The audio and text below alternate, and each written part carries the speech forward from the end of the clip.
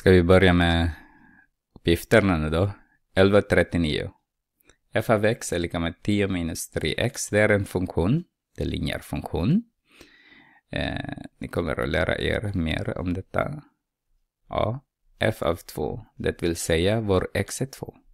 Så vi har 10 minus 3 multiplicerat med 2. Så har vi 10. Så drar vi med 6. Då har vi 4 f av 4. f av 2 är lika med 4. b. f av 0. Det vill säga x är lika med 0. Så har vi 10 subtraherar med 3 multiplicerar med 0.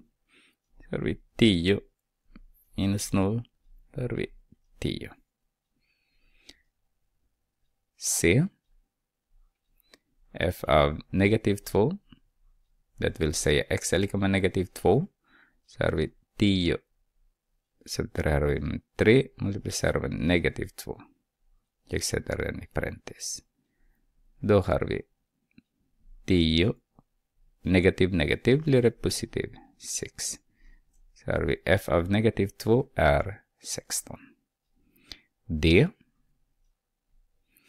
f av 2a. Det vill säga x är lika med 2a. Så har vi 10. Subtraherar vi med 3. Multiplicerar med 2a. Så har vi 10 minus 6a. Inget mer vi kan göra.